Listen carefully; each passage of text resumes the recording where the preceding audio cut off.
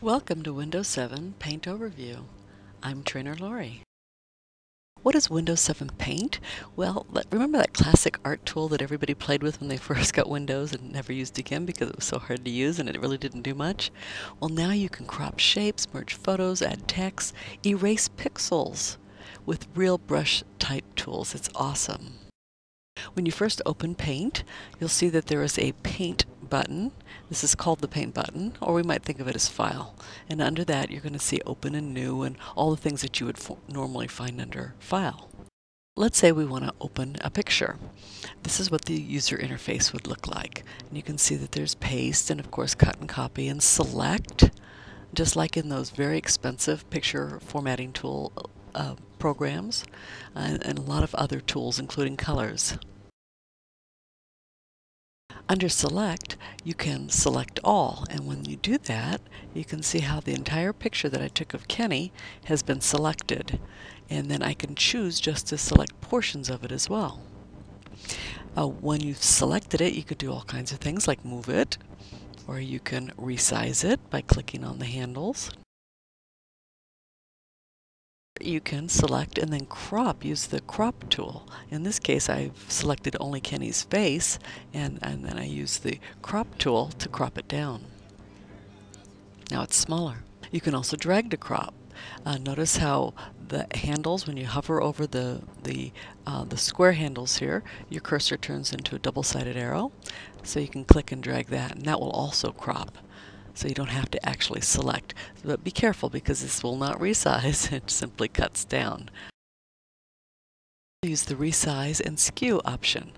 Here you can see that I can use this to actually resize this, the size of it in percentage or I can skew it. Probably wouldn't want to skew a picture, but you might want to skew text, like um, italics. You can also use the freeform selection and then in this case, I select it and then delete it.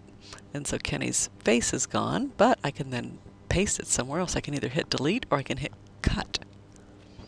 Now, if you invert the selection, it keeps the background and uh, uh, it keeps the selected area that you did uh, put the selection around and deletes in the background. So it does just the opposite of, of select. So you might want to invert if you meant to keep Kenny's face. In this case, I wanted to copy and paste Kenny because here his parents have a new baby and he didn't get to go to the hospital, so we can uh, make it look like he was actually there. The problem is, is when I paste it, as with all JPEGs, you'll get this white background wherever there's nothing. There are no transparent pixels in JPEGs. And so you can actually choose under Select, one of your options is to say make it a transparent selection. And then so it cuts out around it. But if you'll notice, I didn't do a very good job of cropping him. I see it when I when I selected him, I just did a, a free form and I didn't get very close. Uh, you might want to uh, play with that and, and, just get his head and not all those extra pixels. But now it looks almost like he's there. So this is how I might erase. You can actually use the erase tool before you bring it in because if you erase it after you bring it in, you're going to erase pixels from the, the other picture as well. And the eraser tool, uh, you can resize it and, it will take it ba back to this white. And remember, when it's white, uh, you have to say make it transparent because JPEGs aren't transparent. And you can resize it. This is one of those times when you want to really blow it up so you can see the edges really well. There's also some brush tools. Um, so uh, for painting or uh, erasing, you can use the brush tools for all kinds of things. And you can make them bigger or smaller using the size tools over here or if you want to make it even bigger, you can use the control plus the plus key. And that just keeps making it bigger and bigger and bigger. So you can grow it as big as you need to. But let's look at each of those brushes. So you can see here this is one, and this is what one looks like here. So you can see that is a, a regular paintbrush, and then next to are calligraphy pens. The next one is a spray paint. Uh, this one is oil. And the nice thing about oil and watercolor both is in the new version of paint, they see how the paint work works its way out just like a real paintbrush it'll uh, run out of paint essentially so it makes it look more realistic uh, six is a crayon 7 is a marker, 8 is a pencil, color pencil, and then 9 of course is watercolor. And I used black so you could see it, but of course you can use any color that you want. We have color 1 and color 2. Color 1 is what your brush will do, and color 2 is what your erase will do, what color it, it turns into once you've erased it. If you want more colors, click the Edit Colors. You can see that there's a palette there built in of lots of colors, but if you want more to choose from, then you can come in here, just like in any other um, Microsoft Office program. Imagine that you would like to color with two colors, all using the same, um, for example, arrow. So I have this arrow and I want it to be two colors. Well, I simply color it with one color using the brush, draw it, and then erase make sure that your second color is the color that you want and use the erase and it will now color the same arrow with a second color. So don't just think of it as erase but as color too. A wonderful tool is the color picker because uh, here in Elizabeth's uh, blanket you can see we want that color. I want to be able to use that color for something else. So I come up to the color picker and click in the blue and you can see it adds it to color one. So now I have that in my palette and I can draw with that color. You can fill with color. When I use the fill bucket, it's a little bit different from drawing because it will fill in the background. And so it will turn that whole background uh, in the, the, the color. However, you can see that the 8 didn't quite make it. The inside of the 6 and inside of the 9 as well.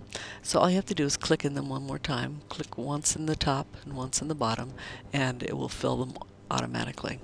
Uh, this is great when you have a single color that you want to change.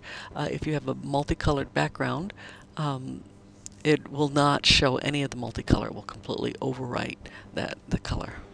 You have the option for shapes. You can see here, uh, for example, the star, and then you can fill the star with whatever color you want. And notice under the fill option, we have these the crayon marker and those other options that we saw earlier. So this is what they might look like. Natural pencil watercolor. When you draw with a star or a shape, it becomes a vector.